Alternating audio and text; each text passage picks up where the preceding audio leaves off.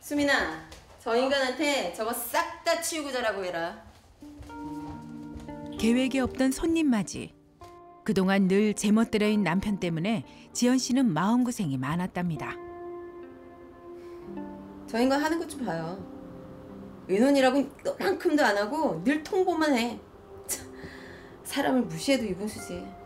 그러니 내가 저 사람하고 얘기하고 싶겠냐고요. 아빠 들어가. 아 내가 많이 넘어갔다. 들어가 아빠. 부모의 갈등을 어떻게든 중재해 보려는 수민 씨의 노력. 미안하다 수민아. 아빠 그럼 들어간다. 아빠도 그런 딸의 마음을 모르는 건 아닌가 봅니다. 이제 겨우 스무 살.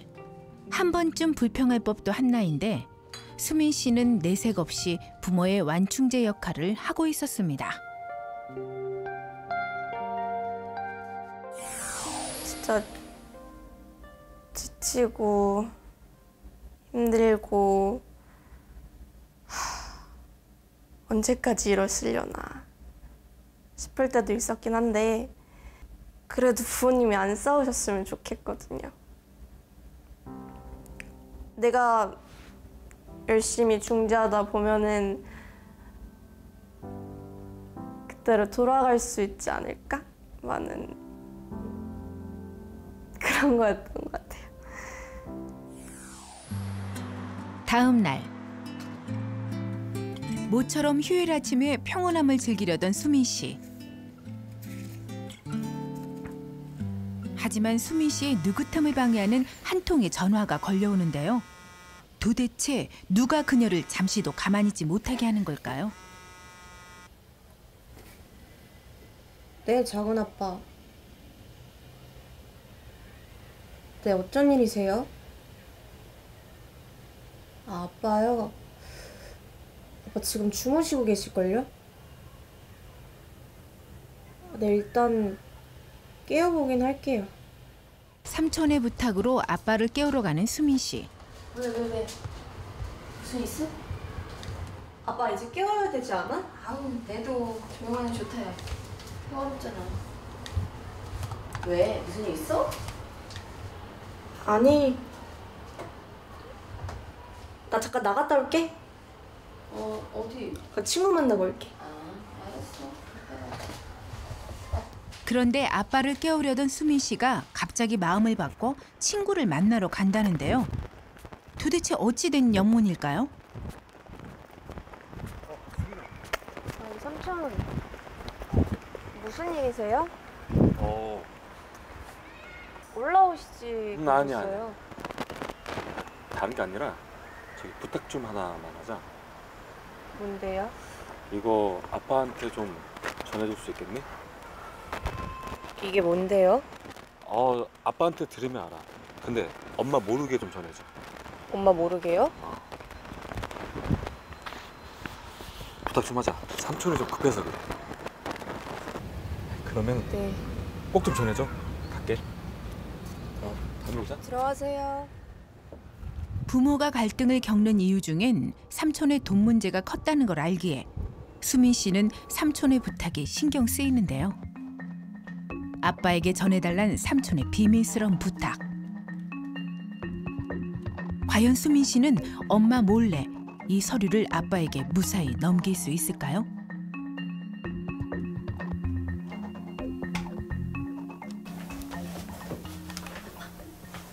아빠 일어나. 응. 작은 아빠가 전해줄래. 계속 전화 왔다는 나 작은 아빠가? 그 뭐야? 너 성준이가 나한테 걸렸어? 아빠 전화 안 받는다고 해서 진짜 무슨 일 있는 거 아니지? 아니야, 아무것도 아니야. 그때 부녀의 수상한 회동을 의심한 엄마의 급습. 그건 뭐야? 내놔. 에. 아이씨.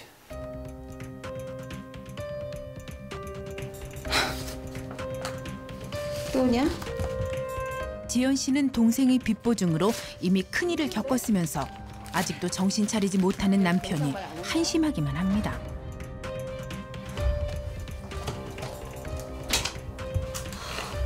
뭐야 아빠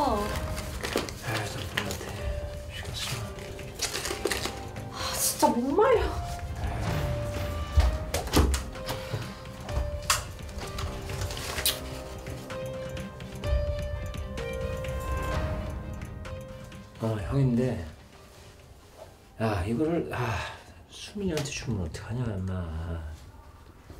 나한테 직접 줬어야지. 아, 이번에 또 애 엄마까지 알게 돼서 이거 어려울 것 같은데. 결국 형준 씨는 피치 못할 사정을 동생에게 설명해야만 했는데요. 어. 더위가 유독 기승을 부리던 그날 오후 엄마. 응? 더운 거 같아. 더워? 어, 잠깐만. 아이씨 왜 이래.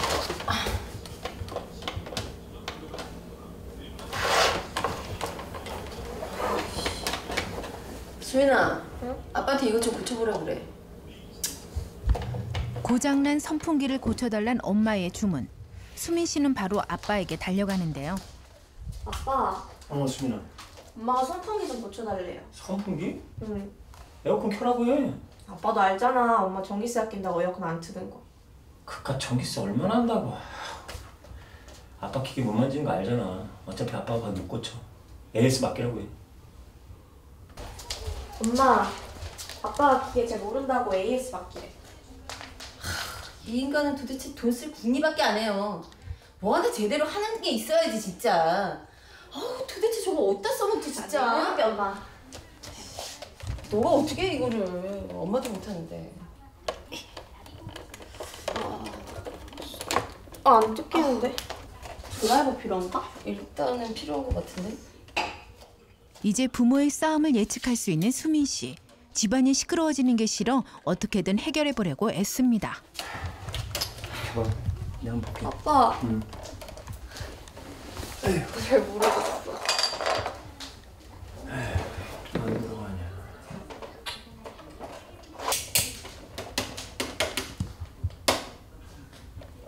야, 이거 오래돼서 안 되는 것 같다. 여기다 버려야 되겠다. 그럼 그렇지. 뭐 하나 쓸모가 없어요. 도대체. 아휴, 남자 구시로 제대로 하기로 하나. 뭐? 지금 뭐라 그랬어? 애들 앞에서 말 조심해. 무슨 말을 조심해. 사실인데. 그만 좀 해. 빡치게 또 시작이야? 진짜 구질구질하다. 뭐? 구질구질해? 구질구질 맞잖아. 아유. 작은 딸의 막말에 순간 이성을 잃어버리고만 아빠. 아빠 이제 손찌검까지 할게. 진짜 아빠는 바닥이야.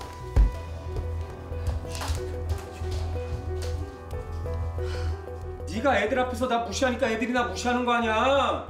무시 당할 만하니까 무시 당하는 거 아니야. 애들 교육 좀 신경 써. 네가 실수한 거야. 어? 내가 말할게. 내가 혼낼게. 너가 아빠. 쥐아빠 닮아서 그런 거. 엄마. 야, 고상한 척 하지 말고. 어? 아유, 진짜 내가. 뭐라 할게. 저런 인간하고 사는 내가 미친년이지. 부모의 갈등으로 아직 어린 동생이 받는 상처가 늘 마음이 쓰이는 수민 씨. 놀랐지? 괜찮아? 유민아. 짜증나.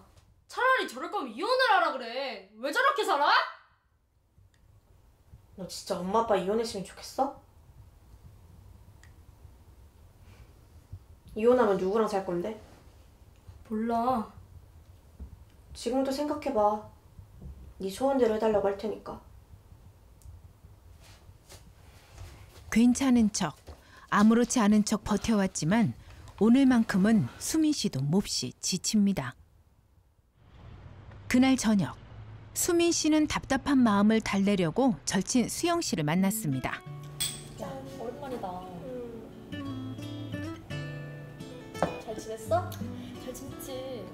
여기 뭐해? 나 요즘 여행 중이란다 어디? 유럽. 한 달 동안 갔다 올게. 프랑스, 체코, 에펠탑도 보고. 누구랑 왔는데? 그냥 친구들 여러 명이서. 좋겠다. 야, 너도 가면 되지.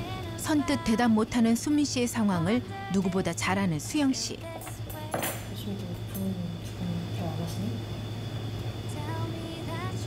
응. 우리 부모님도 그래. 야, 툭하면 싸우고 욕하고 다 그렇지 뭐. 야, 부모님 사이 일은 부모님 두 분이 알아서 하시고 너는 연애나 좀 해, 제발. 스무 살이잖아. 청춘을 좀 즐기자. 나 결혼 절대 안 할 거야. 야, 소화 좀 하지 마. 야, 연애를 해서 결혼 안 했어? 결혼 안 할 건데 연애를 왜 해? 야, 남자친구 얼마나 좋아. 힘들 때 위로 돼주고 힘이 돼주고 사랑도 주고 얼마나 좋아. 전화 많이 하세요. 난안 해. 청춘 썩혀? 썩으라 해. 한창 이성의 호기심 많을 스무 살. 그녀의 마음을 이토록 얼어붙게 만든 장본인이 부모라는 걸 과연 그들도 알까요?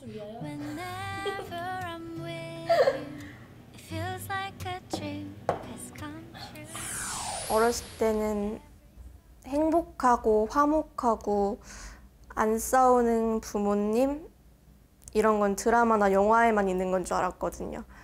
근데 진짜 말씀하신 대로 간혹 가다가 친구들한테 그런 말 들으면 음, 다 그런 게 아니었구나. 우리 부모님이 사이가 많이 안 좋으신 거구나. 전 솔직히 부모님 보면서 결혼 생각 진짜 하나도 안 들어요. 두 분도 서로 사랑해서 결혼하셨을 텐데 지금 보면 진짜 모르겠어요.